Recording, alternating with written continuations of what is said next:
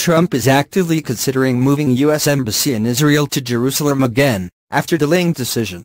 U.S. Vice President Mike Pence has said President Donald Trump is actively considering moving the U.S. Embassy in Israel from Tel Aviv to the more controversial location of Jerusalem.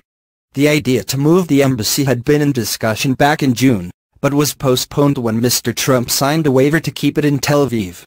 Mr. Pence said the only questions now are when and how to move the embassy despite the ongoing issues of Palestinian and Israeli control of the holy city of Jerusalem.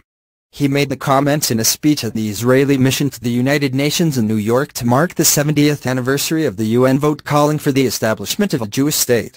The likely reason Mr. Pence has commented on the issue now is that the waiver Mr. Trump signed in June is coming up against a deadline next month to either extend the waiver as predecessors have done in order to avoid adding more fuel to the fiery tensions in the region, or go through with the move.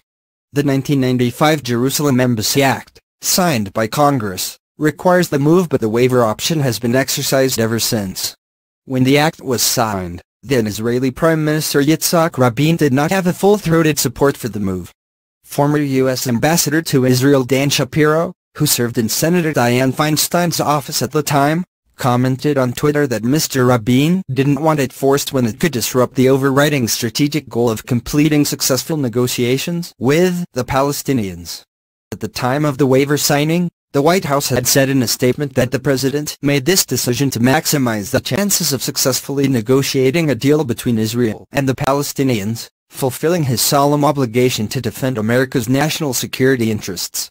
Mr. Trump named his son-in-law and White House advisor Jared Kushner as one of the main brokers of a peace deal between Israel and Palestine. He came under fire for the decision primarily because Mr. Kushner lacks any diplomatic experience, but is also close family friends with Israeli Prime Minister Benjamin Netanyahu. Mr. Kushner's parents have also contributed to Israeli settlements that Palestinians have said encroach on their land. Though Mr. Netanyahu was disappointed with Mr. Trump's waiver despite months of rhetoric on the move, the Palestinian Authority's U.S. Ambassador Hussam Zomlot said signing